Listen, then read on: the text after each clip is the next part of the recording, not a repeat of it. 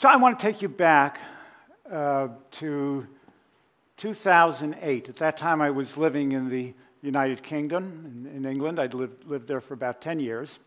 And on February 26th of 2008, a study that my colleagues and I had done on antidepressant medication was published. It's called a, it's a kind of study called a meta-analysis. It's a fancy term for a very simple thing, basic conceptually. It's just you take the data from a whole bunch of studies that have been done on a particular topic and you put them together. One study will tell you something, three studies tell you more. The more studies you have, the more it tells you, but you have to have some way of putting it together. And you do that with what's called a meta analysis. So that came out on 26th of February, 2008. And I woke up that morning to find that it had become front page news on, in all of the major UK daily newspapers. Two years later, it was still making news with a five page cover story in Newsweek. And two years after that, on 60 Minutes, the following was aired. The medical community is at war, battling over the scientific research and writings of a psychologist named Irving Kirsch. The fight is about antidepressants and Kirsch's questioning of whether they work. Somehow, I had been transformed from a mild mannered university professor to a media hyped superhero or supervillain, depending on whom it was you asked. What had my colleagues and I done to deserve that notoriety? Well, to tell you that story, we have to go back even further to 1998 when we published our first meta analysis on antidepressants. And what I have to tell you about that was in 1998, when we did our first meta analysis, I had no real interest in antidepressants or in evaluating antidepressants at all. I was interested in the placebo effect. I've always been interested in the placebo effect. How is it that a pill with no active ingredient, or an injection or whatever, with no active ingredient, can uh, produce the kind of changes that you sometimes see uh, with placebo? You might say I was addicted to placebo research, and I, I tried to kick the habit. I went to Placebos Anonymous, where the first step was to admit that I really didn't have a problem at all. But it didn't work. I just couldn't stop researching the placebo effect. It was just too fascinating. You know, it's just a strange and wonderful phenomenon. Here's a few things you might want to know about the placebo effect that perhaps you already know, but perhaps you don't. Because there are all kinds of things that shape the placebo effect. For example, the placebo effect can depend on the color of the pill. Here's what we know that blue pills have a much better sedative effect than either red or orange pills. And red pills have a much better stimulant effect than blue pills. And if you want pain relief, you're best off also having a red pill. It does better than a white, blue, or green pill. Same lack of ingredients, just the color of the pill. The dose makes a difference. Two placebo pills are more effective than one placebo pill. And four placebo pills are more effective than two. When we do placebo studies with pills, we usually say that you need to take two pills twice a day. Very effective dose.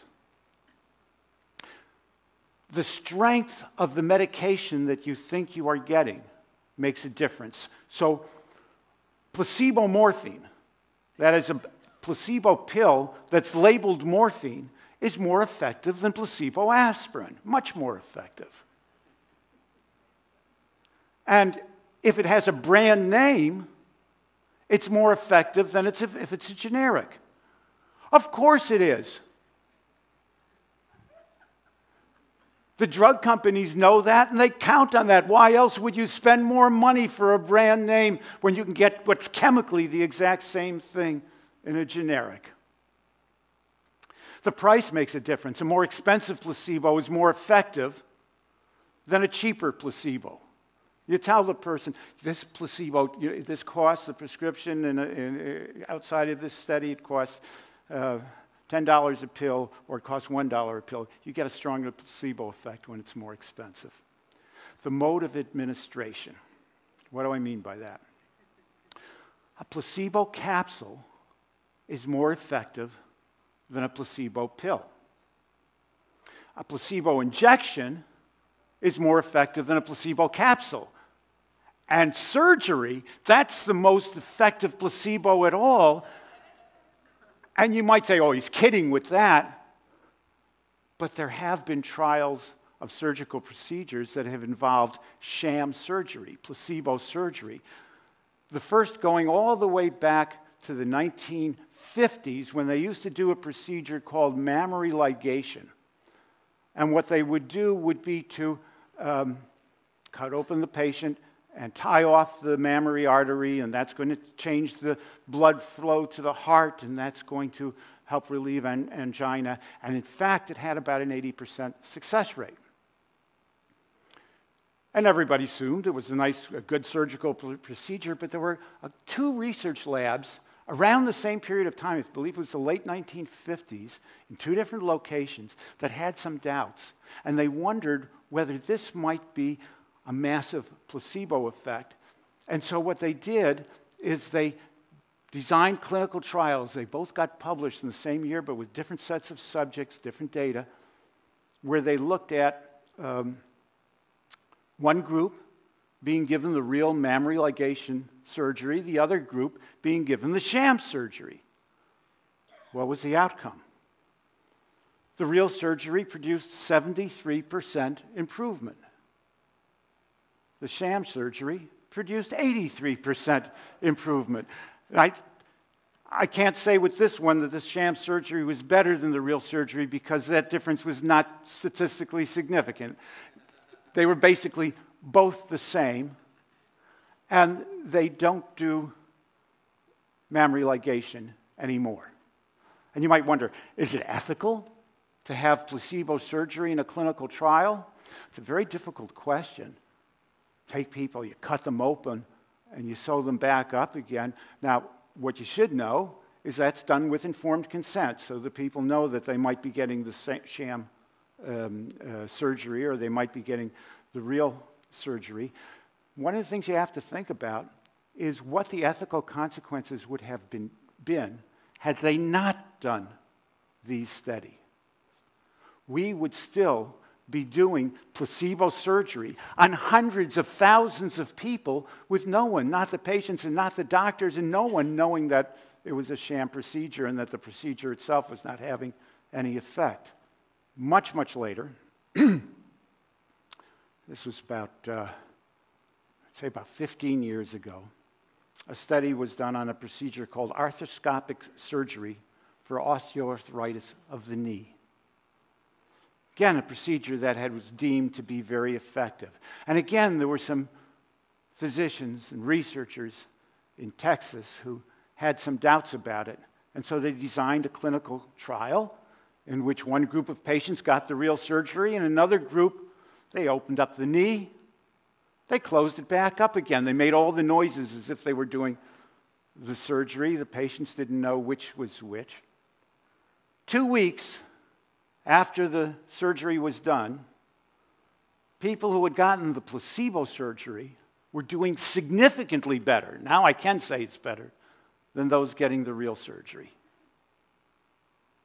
The, it was on, on, on things like being able to walk up and down stairs. Um, they thought, well, maybe it's because these people had been spared the surgical uh, trauma, maybe. One year later, the placebo surgery still outperformed the real surgery by a small degree, statistically significant. It was a large study.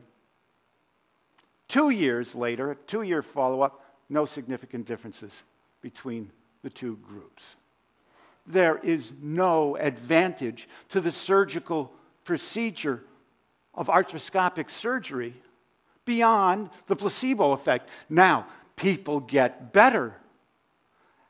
And as you can see from the two year follow up, that lasts, the improvement lasts. But it's not the surgical procedure, it's the powerful placebo made more powerful because it's, oh, it's surgery. This is a real thing.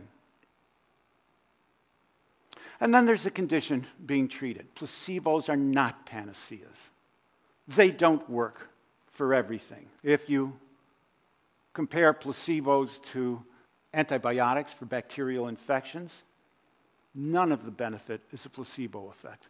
Placebos do not have any impact at all on bacterial infections. They have a pretty good effect on pain. About half of the effect of a pain reliever, whether it be morphine or aspirin, um, is due to the placebo effect. You can get it with the placebo, you get about half. So remember, morphine is more effective than aspirin. Placebo morphine is more effective than placebo aspirin. Depression. As it turns out, as we now know, about 80% of the effects of antidepressant medication are duplicated when you give people a placebo in the clinical trials. And I'm going to argue that even that 20% difference may also be a placebo effect, but we'll get to that. Well, as I said, back when I started this research, I wasn't interested in the antidepressant effect. I was interested in the placebo effect, and it occurred to me that depression was a place where you ought to find a reliable and robust and relatively large placebo effect. Why? One of the core features of depression is a sense of hopelessness. If you're depressed, almost by definition, you're hopeless. You're feeling hopeless. And what are depressed people hopeless, feeling hopeless about? Some of them, many depressed people, are feeling hopeless about many things in their lives, but including their own depression. They don't feel they will ever get better. And that's depressing because depression is really awful. And so it stands to reason that if you give someone a treatment that gives the promise that this will help you get better, that's going to counteract the hopelessness. That can lead to a sense of hopefulness and thereby help diminish the symptoms of depression.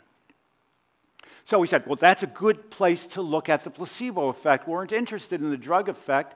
We knew the drug worked. We thought we did, the drug worked. I knew at that time that antidepressants were effective. I had no reason to doubt it.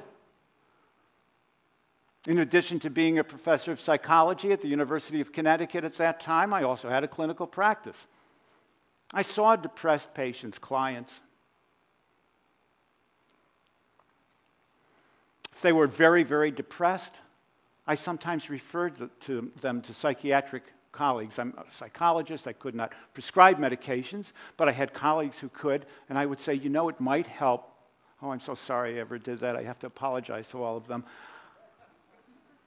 I said, but I didn't know any better. I said, you know, it might help to get you started, to help start your progress with an antidepressant, which has been shown to reduce depression, and then we can work on some of the issues that have led you to be depressed. Seemed like a reasonable thing to do, and sometimes it didn't work, didn't seem to help at all. Other times they'd come back and they were doing better and I assumed that this, when they were doing better, that this was due to the antidepressant drug. So I wasn't that interested in evaluating it, but here I can look at it. We looked for um, clinical trials in which depressed people had either been randomized to get a placebo or been put on a waiting list, no treatment at all. They'll get treatment later for the benefit of this particular trial. We want to compare what happens when uh, nothing is done. You're put on a waiting list, which is not nothing. But now, where are we going to find clinical trials in which people have been depressed patients have been assigned to get a placebo? Only one place: the drug trials. So we had those data. We had the drug data, and so we analyzed them as well. When you are a researcher, you have data, you analyze it, see what it's telling you. And what I'm showing you on this slide now is the difference in depression between before they got the treatment and afterwards. In a group of clinical, clinical trials, there's a meta analysis now based on the published literature.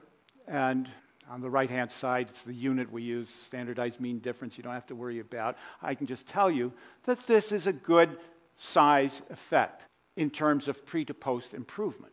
People got better. Not everybody, some did, some didn't. Some got better very much, some not at all, some just a little bit. But on average, there was a fair amount of improvement on, for the people who were given the drug. There was also a lot of improvement for people who were put on placebo and very little improvement among people who were put in a wait list. They didn't have this sense of hope, this reassurance that they're going to get better. One way of looking at that is that 25% of the response to the drug would have occurred no matter what you did. That occurred without even getting a placebo. That was just natural history, spontaneous recovery.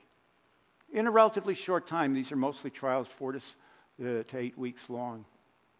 Most antidepressant efficacy trials are about that length. Another 50% of the response to the drug was due to getting that placebo pill. That was a real placebo effect. It's, we're looking at here is the difference between getting a placebo and doing nothing, being put on a wait list. So that's a real placebo effect. But here was what, at that time, was a surprise and a shock to me. That meant that only 25% of the response to the drug was a true drug effect. Only 25% could be linked to the chemicals in the drug. The rest you got in people who were given the placebo that had no active ingredient at all. And that seemed very small for a treatment that had been widely heralded as constituting a revolution in our management of depression. Before we published it, before we published it, we wondered, we said, you know, we must have done something wrong. Maybe, maybe some antidepressants are very effective and others are very ineffective, and by lumping all antidepressants together, maybe we've underestimated the effectiveness of the effective ones, of the good ones, and have overestimated the placebo effect. So we went back to the same studies we just analyzed and we looked at what drug, what kind of antidepressant had been used. Some were tricyclics, that's the older generation of antidepressants. Some were SSRIs, the most popular antidepressants today. There were other antidepressants in some of these trials. Same pattern.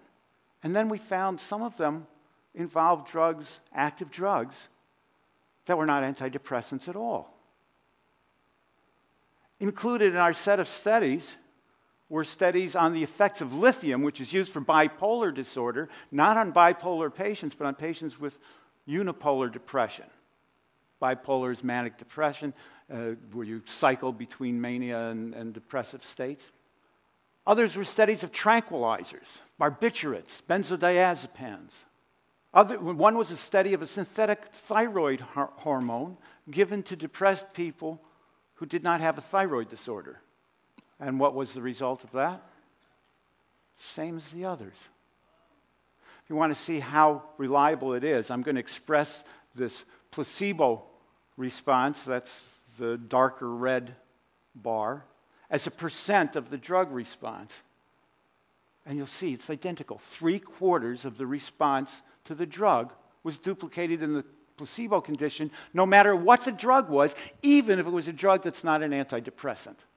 So the question is what do all of these active drugs have in common that the placebos don't have? Any guess? Side effects, absolutely. Before we even talk about why it's important, just an example of what that means. If you look at the therapeutic benefits of this tricyclic antidepressant, imipramine, it's just like this is one particular study, and it, you can see that it's just like the data we showed, found in our meta analysis, just a little bit better than placebo. If you look at the side effects, it's a lot worse. Placebo is producing very few side effects, the imipramine, a lot more. Now, why is that important? Well, there's, the placebo has an evil twin, the placebo effect, and it's called the nocebo effect. and just as thinking you are going to get better can lead you to get better, thinking you're going to get worse can lead you to get worse. So a placebo can produce some side effects if you think you're getting the real drug and it's, it, it, it's going to give you these side effects. But the, with antidepressants at least, the nocebo effect, the side effects, are much, much, much smaller than the therapeutic effects. But why is that important? Why am I talking about that part of it? And what I have to ask you to do is imagine. Imagine that you ha- are depressed, and, and, I'm imagining it too, so, and, and we've been recruited to be subjects in a clinical trial for an antidepressant. Now, before the trial can begin, before they can begin treating us, we have to give informed consent. They have to inform us, and we have to consent to be part of the study, sign it on a dotted line. And in that informed consent procedure, they tell us this is a double blind trial. You may get the active drug, you may get the placebo.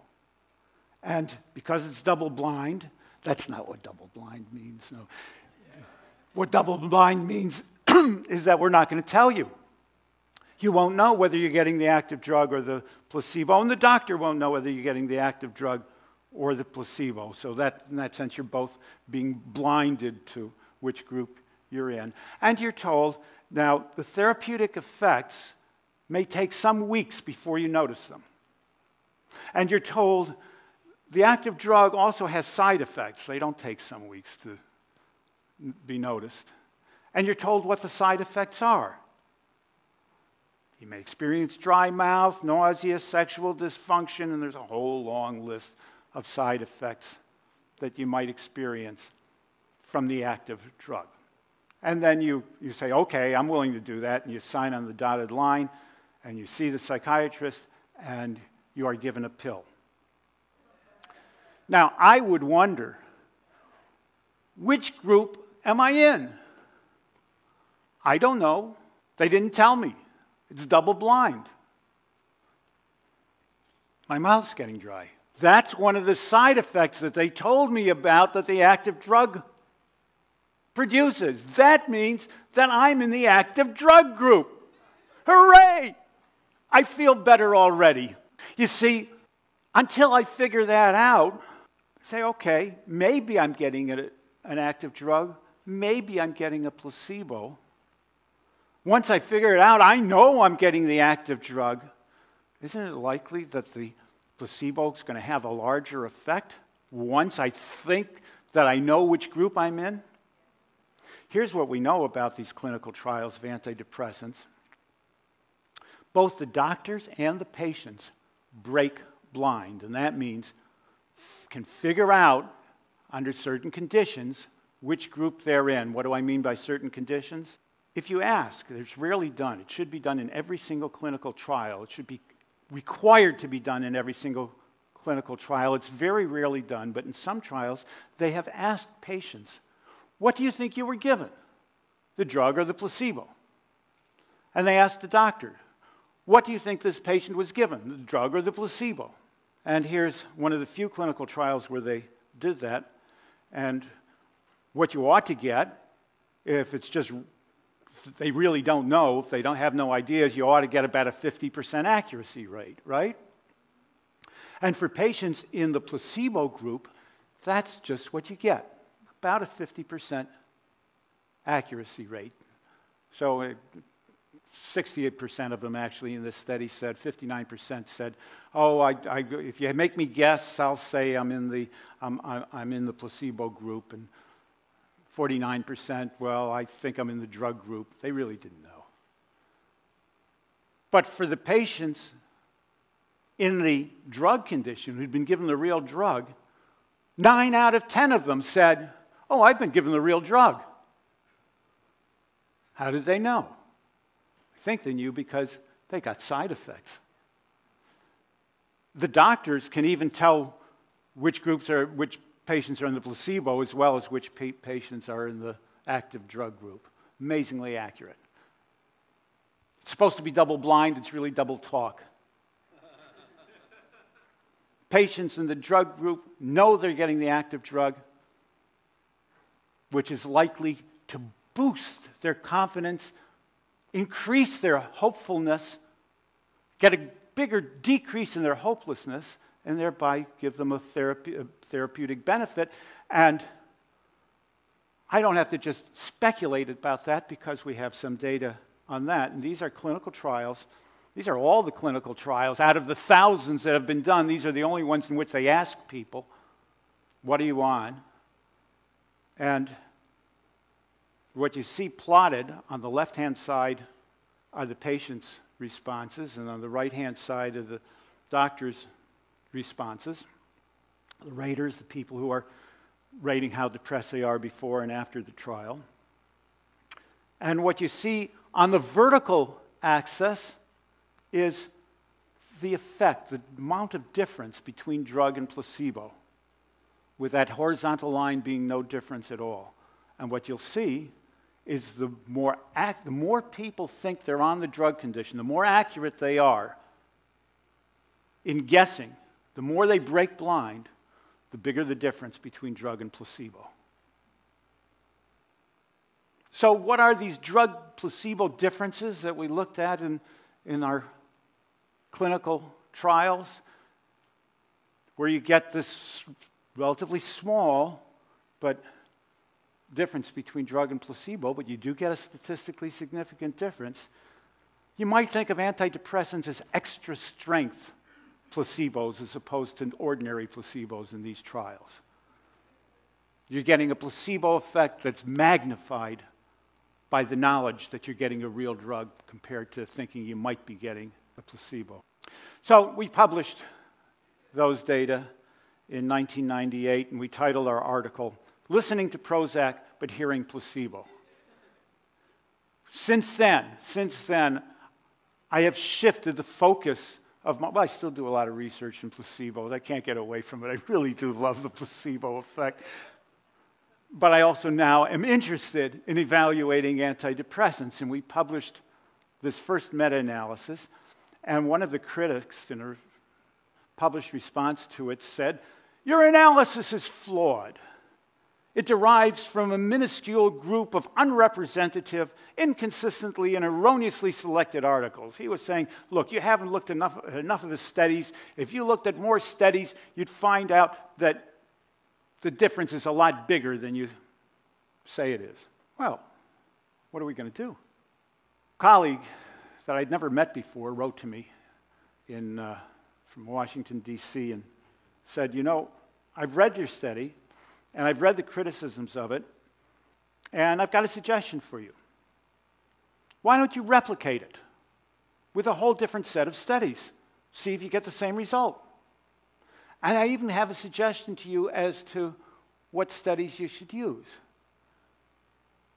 What you should do is use the Freedom of Information Act. Go to the FDA and have them send you the data from all the clinical trials that the drug companies have sent to them in the process of getting their drugs approved in their uh, application for drug approval. I said, That's a great idea. Let's do it together. You're in Washington, get the studies, send them to me, keep a copy for yourself. I'll analyze it with my graduate students at the University of Connecticut. You do your analysis at your university. Well, that way we can check on each other and make sure that nobody's making a mistake, and we'll see what we find. And so Tom Moore was his name. Tom did that, and he got the clinical trial data from the FDA on what at that time were the sixth most widely prescribed antidepressant medications. Now, the data that the FDA has in its files is a very important and special data set. For one thing, it's the basis upon which the drugs have been approved. So if anyone says, well, and I, this is what has happened ever, after publishing our analyses of the FDA data, people said, well, these trials really aren't good trials. Okay, if they're not good trials, then the drugs should never have been approved, approved at all. You're supposed to approve drugs where you've shown them to be effective, not when your trial wasn't good enough to be able to find them effective. Second, it includes all, all of the trials that the FDA deemed to have been adequate and well controlled. And that all is very important because, as it turns out, 40%, 40% of the clinical trials done by the drug companies, submitted to the FDA, were never published. You know why they weren't published? This might give you a hint. If you look at the published trials, three out of four of them show a statistically significant difference between drug and placebo. If you look at the unpublished trials, that figure drops to 12%. But now we had the data from the published trials and we had the data from the unpublished trials, and we can put them all together and look at all of them and see what we can find. And they all now are using the same measure of depression. It's called the Hamilton Depression Inventory, Hamilton's rating scale for depression because that's what the FDA was requiring. Um, and you get what on the Hamilton Depression Scale is a reasonably, a respectable improvement in people given the drug. And in people given placebo, you get a reasonably respectable clinical improvement. And now 82% of the response to the drug is being duplicated by the inactive placebo. The difference, that difference on the Hamilton scale is a difference of 1.8 points. That's on a scale. To make that sense sensitive, it doesn't make any, what does that mean, you know, unless you know the scale. It's a scale on which scores can range from 0 to 53 points. You can get a six point difference just by changes in sleep patterns without changes in any other symptom of depression a 1.8 different point difference, less than two points, is clinically meaningless. And you don't have to just take my word for it. There is an organization in the United Kingdom called the National Institute for Health and Clinical Excellence. Their acronym is NICE, and they are a very nice organization. What they do is that they establish treatment guidelines for the National Health Service in, in England. And in 2004, they proposed, looked at all the data, and they proposed uh, a cutoff, a criterion. How large does a difference between a drug and a placebo response have to be in order to be clinically meaningful, clinically significant? And they said, well, it should be at least three points. And as you see, on the Hamilton Depression Scale. As you can see, the actual data is considerably lower than that. Now, I should pause to clarify one thing because these two concepts can easily be confused, and the difference is very important. The difference between statistical significance and clinical significance. Because my contention is, and the data tell us very clearly, that although the difference between drug and placebo is statistically significant, it's not clinically significant. It's not clinically meaningful. You see, statistical significance tells you whether an effect is real or not, whether it's reliable, whether you would get it again if you did the study again. What are the odds you would get it again if you did uh, uh, the study again? It doesn't tell you how large it is. It doesn't tell you how meaningful it is in a person's life, what kind of difference it would make in their life. Clinical significance relates to how meaningful, how large is that change? How big a change is it? What would it make a difference to anybody that they would be worth spending some money on or risking side effects from? Imagine, here's an example. Imagine a study has been done on 500,000 subjects, 500,000 people, and has found that smiling increases life expectancy by 10 seconds. With 500,000 subjects, I can virtually guarantee you that that difference is going to be statistically significant. Clinically meaningful? Who cares, right? So we published those data back in 2002, and the critics said, the patients in those trials weren't depressed enough. So, yeah, sure, you see, if if you're dealing with mildly depressed or moderately depressed patients, they'll respond to anything. You won't get much of a drug placebo difference at all. But the people we see in clinical practice, they're severely depressed. And with severely depressed patients, that's where you see a meaningful difference. That's where you would see, if you didn't done the studies, a meaningful difference in between drug and placebo. So, how are we going to counter that? I mean, that's possible, right? So we went back to the data that we'd gotten from the FDA and we looked at how depressed were the patients before being given the drug or placebo. And here's what we found there, was there were no trials on mildly depressed people at all. There was one trial on people who at baseline, before being given the treatment, were moderately depressed. That trial showed absolutely zero difference between drug and placebo. There were no trials on severely depressed patients. All of the rest of the patients were very severely depressed. And they also did not cross this cutoff that had been proposed by NICE. We did find that if you went on the very extreme end of severity, there were a small number of studies with extremely, with the American Psychiatric Association classification, they don't go beyond very severe. But within the very severe, there was a group of small studies with extremely very severe depression.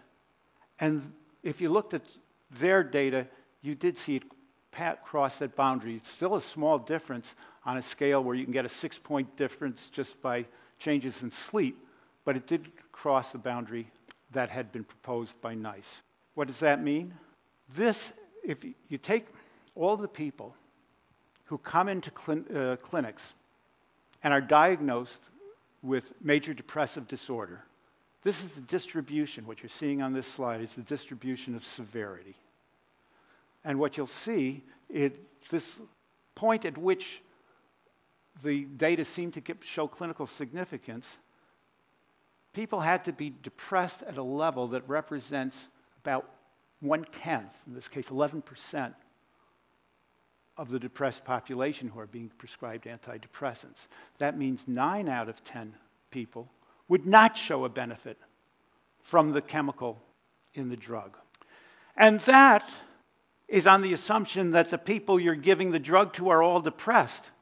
But here's another thing that you should know about antidepressants when you give a drug to someone for whom the drug has been approved, that's one thing. Doctors also give drugs for purposes that the drug has not been approved, and that's called off label prescribing. So I've seen antidepressants prescribed for insomnia, even though it's a side effect of the SSRIs, for stress, for death of a pet dog, for lumbar muscle spasms, Antidepressants get doled out like candy by some treating physicians, by general practitioners, people who aren't even psychiatrists, patients who have come in, they have no psychiatric complaints at all. Here's a study of how much that happens. In this study, they looked at patients who are currently being prescribed antidepressants. And the question was what percentage of those patients had ever qualified for a diagnosis, ever in their life qualified for a diagnosis of major depressive disorder? What was the lifetime of incidence of depression, clinical depression, in people who are currently taking antidepressant medication? The answer is 31%. 69% have never been clinically depressed in their lives. Now, they're also prescribed for anxiety disorders. 38% of them had at some time in their life been uh, qualified for the diagnosis of an anxiety disorder. Almost 40%, almost 4 in 10, had never suffered from a clinical depression or an anxiety disorder. Why does that numbers don't add up exactly? It's because some people had suffered from both. So that's being taken into account in that bar on the right. 38%, almost 4 in 10 people currently taking antidepressants have never, never suffered from clinical depression or an anxiety disorder. And by the way, antidepressants are no better for anxiety disorders than they are for depression. So we published those data in 2008, and the critics said, well, the patients were too depressed. Oh, give me a break. What were the editors of Nature Reviews drug discovery thinking of when they leveled that criticism? Well, they pointed out take a look at your data. You've got at least one trial with moderately depressed patients, and then you've got trials with very severely depressed patients, but you don't have any trials in the FDA data set on patients who are severely depressed, not very severely, but more depressed than moderately depressed. Maybe they're the ones who really would show the benefit of antidepressants. I guess they were hypothesizing that the curve would look something like that. Can you see that white line? Yeah, I call it the, the Loch Ness Monster hypothesis. Well, what are we going to do now? I, that didn't seem very plausible to us, but I guess it's possible that that's the way it works. We'd have to go out and find some new studies because there weren't any studies like that in the, in the FDA data set of the six drugs we had looked at. Fortunately, we didn't have to go out and do anything because an excellent group of researchers at the University of Pennsylvania did an independent replication of our study, of our meta analyses. They had, what we had were means and standard deviations from the FDA summary data. That's what meta analysis usually use. They had something even better. They had the raw data, the patient level data, patient by patient, in six clinical trials. And they looked at what, how, mild, how severely were the patients depressed at baseline before being given either the drug or placebo. And some of them were mildly depressed, and some were moderately, and some were severely, and some very severely. And then if you looked at the very extreme end of very severely, they got exactly the same thing that we found. Can't imagine a better replication. So then the critics said, well, the NICE criteria, the cutoff, the three point difference for clinical significance, for clinical meaningfulness, that's arbitrary. And they're right. It's arbitrary. It's as arbitrary as the criteria we use for statistical significance, which is five times in a hundred that it could occur by chance. It's as arbitrary the, as the criteria we use for deciding whether a person has responded to treatment, which is a 50% reduction in symptoms. It's as arbitrary as uh, what we use for deciding when someone is no longer depressed which is a score on the Hamilton Depression Inventory of seven or less. They're all arbitrary criteria, and so is the NICE, so is the NICE criterion. So the question is what would a non arbitrary criterion be? And the answer is we found one. Now, this is probably going to be the hardest one to explain, so bear with me and I'll try and walk you through this slowly. This is a study that was done two years ago by a group of researchers that had access to 43 trials involving more than 7,000 patients, and they had the raw patient level data. And on those trials, everybody had been rated on a scale called the Clinical Global Impression of Improvement. And on that scale, the treating clinician who has seen the patient at the beginning and throughout the trial, doling out the medication or placebos, presumably supposedly double blind, rates the patient as being, at the end of the trial, being very much worse, much worse, minimally worse, no change at all, minimally improved, much improved, very much improved. And for each of these patients, we also had, they also had, Leucht and his colleagues also had change scores on the Hamilton Depression Inventory. How much of the patients uh, improved on average. So here's what they plotted, and here's what we're going to look at now. What's the average change on the Hamilton for people who, whose doctors say this person's very much worse, or much worse, or minimally worse, or this person hasn't changed at all, and so on? Here's what you get for people getting worse but here's the important one no change. You would think that no change should mean there's zero change on the Hamilton Depression Scale, right? In fact, the mean change score of people on the Hamilton Depression Scale whose clinicians had rated them as not having changed at all in their depression was three points. A three point improvement on the Hamilton coincided with clinicians saying, I don't see any change in this patient at all. If anything, the NICE criterion was too liberal. It led to rating as clinically significant a change that clinicians, treating clinicians, can't even detect as a change at all. Here would be, a, if you want a meaningful cutoff, you should look at what, how much change do you need for the clinician to say that this person's at least minimally better, right? Just minimally. You would need a seven point change on the Hamilton. Nobody ever gets that. Nobody ever gets that. Now we look at our data again with criteria that are not arbitrary at all. And what we find is even the most depressed patients do not have a level of change on the Hamilton that would come close to a doctor saying, well, this person's gotten a little better. They can't detect the difference. The critic's last resort, I call it the true believer hypothesis. Here's what one very famous psychopharmacologist wrote Antidepressants work, everybody knows they work. And another critic wrote, Clinical practice plus millions of content patients can't be that wrong. Well, the history of medicine is replete with treatments that have worked for millions of content patients. And here are just a few of them.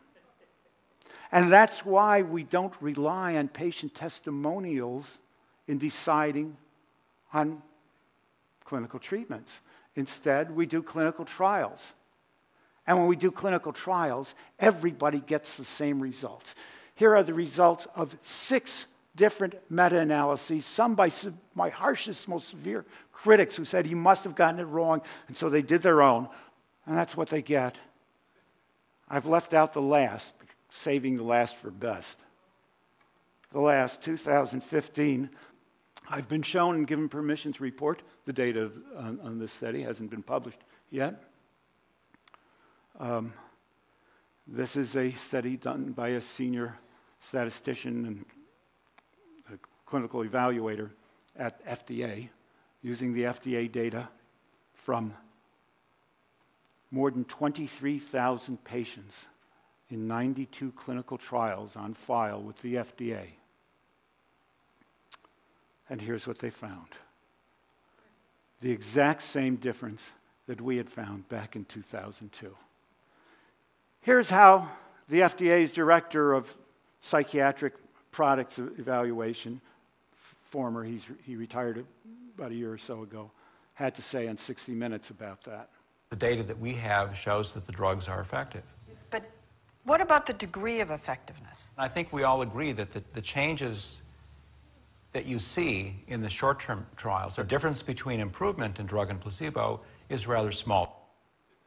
I love the look on Lesley Stahl's face when he says that. We all agree the difference in improvement between drug and placebo is rather small. In fact, it's so small that it's not even detectable by a treating clinician. To not see it, you have to bury your head in the sand like an ostrich or a drug company sales rep. And it doesn't matter which antidepressant you take.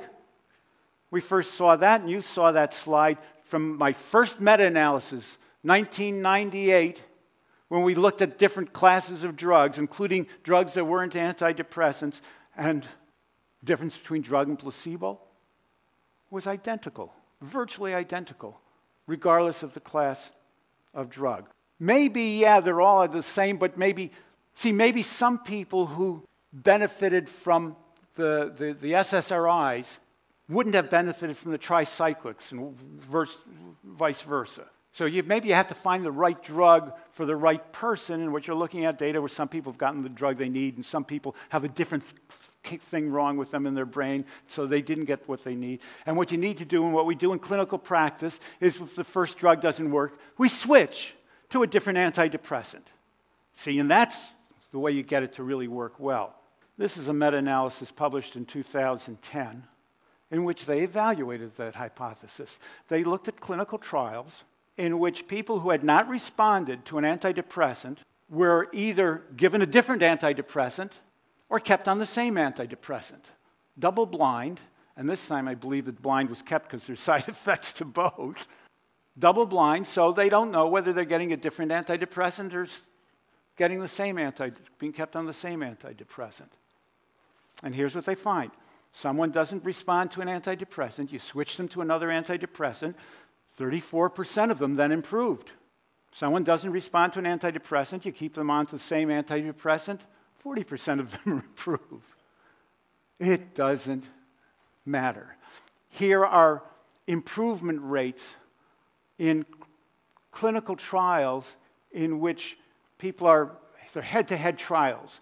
An antidepressant is compared to some other, anti, some other type of antidepressant, SSRIs, NDRIs, SSRI serotonin, selective serotonin reuptake inhibitors, NDRIs, uh, norepinephrine dopamine reuptake in, inhibitors, tricyclic antidepressants, benzodiazepine, a tranquilizer. Same response rates, doesn't matter. And that's not considering a drug called tianeptine. Tianeptine is, has been approved by the French regulators as an antidepressant. It's marketed in France, prescribed in a number of other countries as well. It's unlike most antidepressants that we have. Most antidepressants are selective serotonin reuptake inhibitors, SSRIs. And they're also selective uh, serotonin norepinephrine. Also, all of them, both of those are supposed to increase the amount of serotonin in the brain by decreasing the rate of reuptake into the, into the cells. That's the way they're supposed to work. Tianeptine is an SSRE. It's a selective serotonin reuptake enhancer. It's supposed to do the exact opposite of what the SSRI is supposed to. If increasing serotonin in the brain makes you better, then tianeptine ought to make you worse.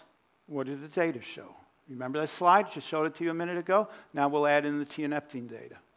It doesn't matter. What do you call pills, the effect of which are independent of their chemical composition? I call them placebos, and they should be taken with a grain of salt.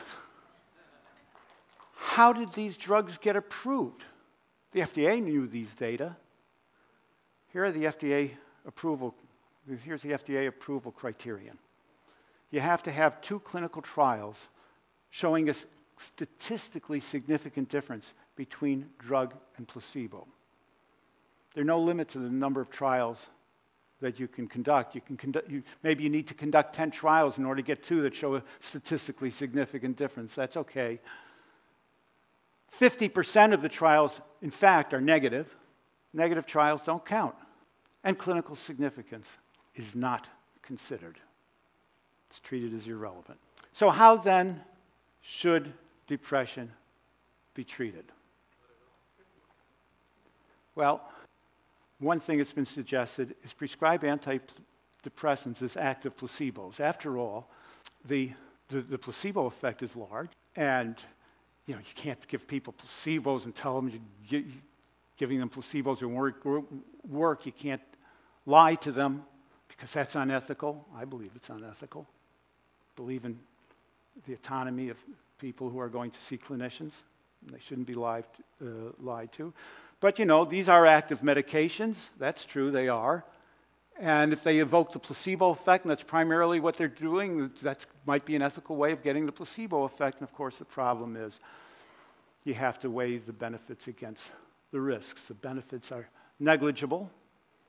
Side effects include sexual dysfunction, long term weight gain, insomnia, diarrhea, nausea, anorexia, bleeding, forgetfulness, and down the list. And I present these data to doctors, and they say, no, no, 70 to 80% sexual dysfunction. I've now seen actually estimates over 90%. Here are the actual data. That's the amount of treatment emergent sexual dysfunction. That is, sexual dysfunction developing after being given treatment. Here it is with the red circle on uh, placebo. Here it is for SSRIs between 70 and 80 percent of patients getting treatment emergent sexual dysfunction, not having had sexual dysfunction before, but being sexually dysfunctional after being put on the drug. And these are essentially addictive drugs.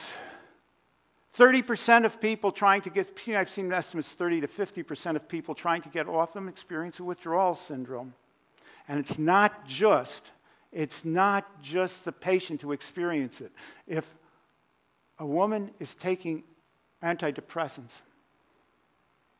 in pregnancy, 30% of the neonates born to women who were taking antidepressants show a neonatal abstinence syndrome, which includes things like a high pitched cry, sleep disturbance, tremors, gastrointestinal disturbance, the exact same abstinence syndrome shown by the neonates the babies born to mothers who are on amphetamines, barbiturates, benzodiazepine, cocaine, morphine, and heroin.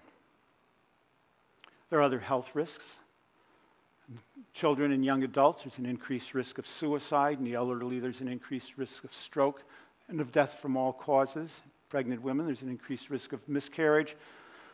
Babies born, an increased risk of babies being born with birth defects, uh, hypertension, autism, among everyone, an increased risk of diabetes and an increased risk of relapse. And here's the other thing that people say an increased risk of relapse. You've got to be kidding. Although, if you heard Robert Whitaker's excellent talk before this one, you'll know that the, uh, the data uh, on that are very clear. Here's one piece of data of that, on that, and that's a study done by the National Institute of Mental Health. A gigantic study, a collaborative research study um, comparing cognitive behavioral therapy, interpersonal psychotherapy, a tricyclic antidepressant, imipramine, and placebo. And here's the rate of relapse from people who had improved. There was no difference in improvement between these four groups. Among the mildly, moderately depressed patients, differences were non existent. Relapse rates, however, significantly higher.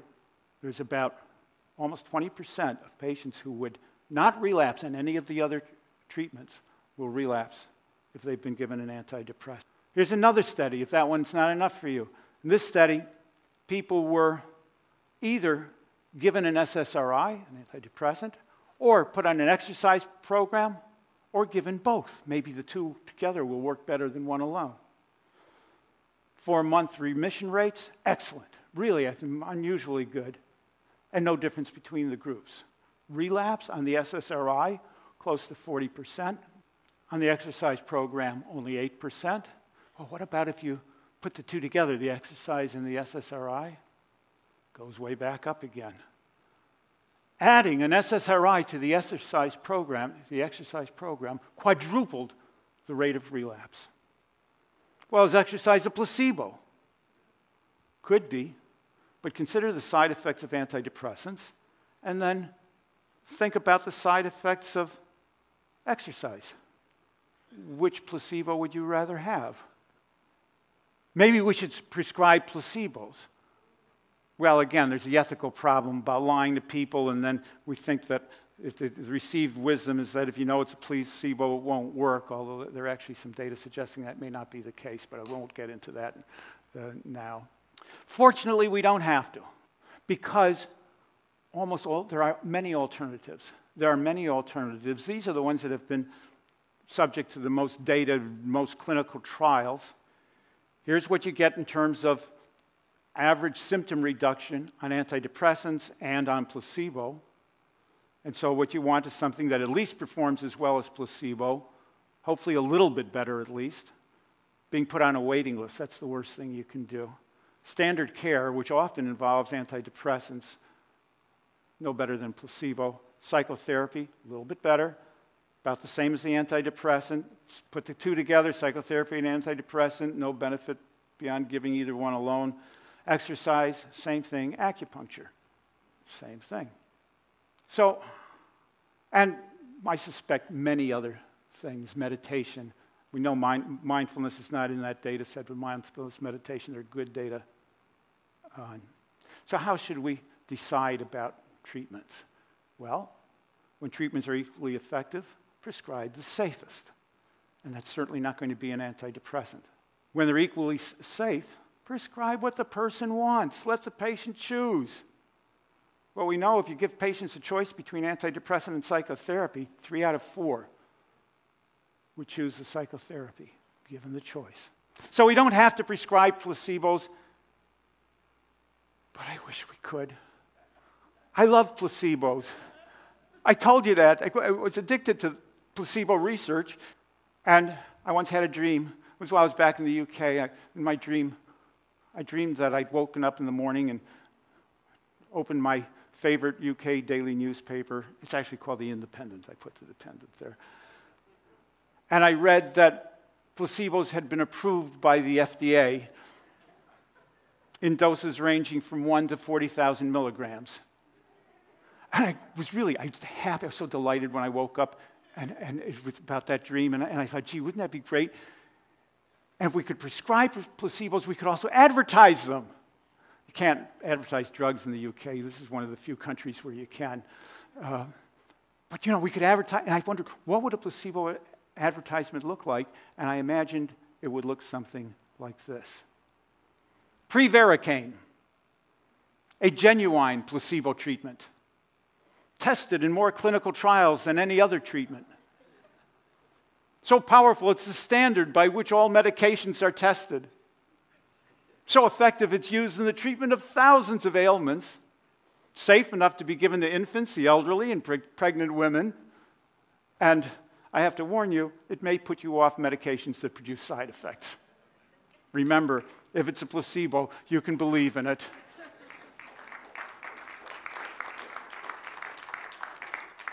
I'm about to conclude, and I thought I might conclude by reading a poem of Shakespeare's.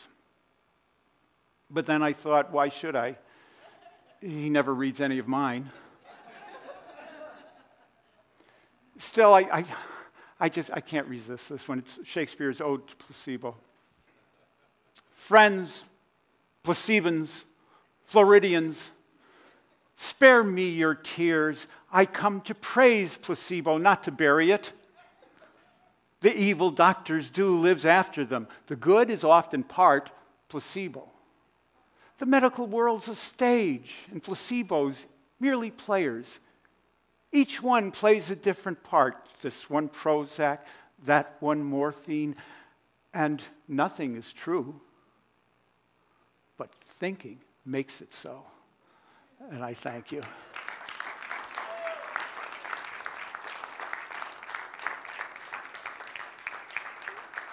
We've got about 10 minutes, and I'm open for questions. What's in a placebo? Do you know that's an excellent question? They usually don't say. They usually don't say. It, it, it can be cornstarch. Um, it, it, it, can, it can be, uh, when it's an injection, it's usually saline. saline. Um, it should be innocuous. There are some cases when uh, you give, uh, it can be lactose, which is fine, I guess, for some things, but imagine if you're doing it for gut disorders, a treatment for gut disorders, and you have some people who are lactose intolerant and the placebo has lactose. That'll give you a drug placebo difference, won't it? So it's actually, it should be required that people state what was in the placebo. That's a good, excellent question. Hi, I'm over here in the middle. Oh, yes. Hi. Uh, you didn't, you, later on, next session, you're going to be talking about uh, pharmaceuticals in general, not necessarily psychiatric ones. Yes. And uh, my question is to uh, the, the medications uh, prescribed for, for epilepsy, you know, like Lamictal and uh, phenobarbital. Uh, what do you think about those? What I have to say is come to the next session and ask one of the other panelists because I have no idea. I haven't studied those data. And one of the things that I am very careful about, I need to be very careful about, is not to make any claims or evaluations unless I have studied the data well enough to feel that I can do so with confidence based on data, not based on my guess or what I've read casually. When I say something here, I want you to know that it is based on a careful and thorough evaluation of the data that I can back up easily and quickly. When I did that, I was very impressed, I have to say, with 60 Minutes. Um, there was a year preparing that story, and they did their homework. I've been interviewed for a lot of television documentaries and, and, and news shows, and I've never seen anything like this before or since. They were on the phone with me about once a week before the interview, and they would say things. Um, Look, we just saw there's this new study out, and it says, seems to say this. Have you seen it? What do you think of that? And so and so from the FDA has said this to us. What do you think of that? And they would go back to the FDA. Kirsch said this. What do you think of that? And after they finished filming, until it aired, from the time they finished filming to the time it aired, every few weeks, I'd get a phone call from them. Some new data, some new studies been published. They wanted to make sure that they could defend the statements that they made and the way they put the program together. They aired the program. The former head of the American Psychiatric Association did a, uh, made a statement saying it was irresponsible of them for, to, to have aired that segment that Kirsch's research has been discredited. He didn't say by whom or where. Um, and the 60 Minutes replied, We stand by our story. So uh, I was very impressed by them. I want to thank you for such a great presentation and demonstrating, without a doubt, you know, the placebo effect. But have you looked at, or anyone looking at, how does the placebo effect work? What is the workings of it? Is it worked on a belief system and thought? So there's other processes going on here that I feel that they're the ones, since the placebo effect is so good, why don't we find out actually how, to, how it works and make it work? Absolutely. And that's why I've been doing research on the placebo effect before I ever got into the field of, of antidepressants. I'm associate director of a group at Harvard called the uh, Program in Placebo Studies, and we are devoted to doing exactly that, to trying to take apart the placebo to understand how it works. And we are learning tremendous uh, amount. One thing was we're learning is that it's not just one placebo effect. There are many different placebo effects, and they work differently. So the way a we do brain imaging studies, for example, the way a, a placebo works for depression is different than the way it works for pain. And even within the same dis- disorder, placebo morphine seems to work by the release of endogenous opioids in, in the brain. Placebo antisteroidal anti inflammatories does not. It seems to work by uh, affecting cannabinoid receptors. So it's a complex, fascinating field, and what seems to happen is if you believe that something's going to happen, and if you've ever had an opiate, and, if, and I'm sure you've had a, a, an NSAID, you'll know you, you can feel the difference. And if you believe that something's going to happen in your experience, when you think it's going to happen, your brain does something that mimics what happens from the actual um, uh, drug. Um, and that's the kind of thing that we are looking at, and we have a long way to go. We are making strides. We know that there are two things that are involved. One is a person's beliefs and expectations. That's been very well demonstrated. And another is the therapeutic relationship. The relationship between a clinician and a client or pa- patient, depending on the kind of setting it is, um, the better the therapeutic relationship. And we've actually been able to manipulate the therapeutic relationship in the placebo treatment of irritable bowel syndrome and found that if we enhance the therapeutic relationship, we enhance the effectiveness of treatment and we can get a placebo effect with a good therapeutic relationship that's as good as the best. Uh, they're usually things like probiotics and things and, and fiber uh, uh, treatments. They don't have very great treatments and they acknowledge it. They're not defensive about it um, for irritable bowel syndrome. Yeah. Sunshine. Sunshine, yeah. I don't know, I haven't seen, there haven't, there needs to be a lot more research done. You know, the drug companies do research on drugs. They're not interested in evaluating alternatives, uh, drugs. Drug uh, uh, clinical trials are expensive. The uh, National Institute of Health and some charitable organizations will fund research. They, their research winds up showing a lot smaller effect for drugs than the drug company research does, which I find interesting. Um, but they will f- fund research, and they've funded some research into psychotherapy, but there is woefully little there, compared to the v- thousands and tens of thousands of patients who've been studied uh, in drug trials. One of the things that we need, we need education, we need people to understand how small the benefits are how the risks, uh, great the risks are, what the alternatives are, and we need financing for clinical trials into alternatives, and that would include things like sunshine. Question. Um, how, how, has it, how, how have your studies been received in England compared to this country? Oh, that's an excellent question as, uh, as well.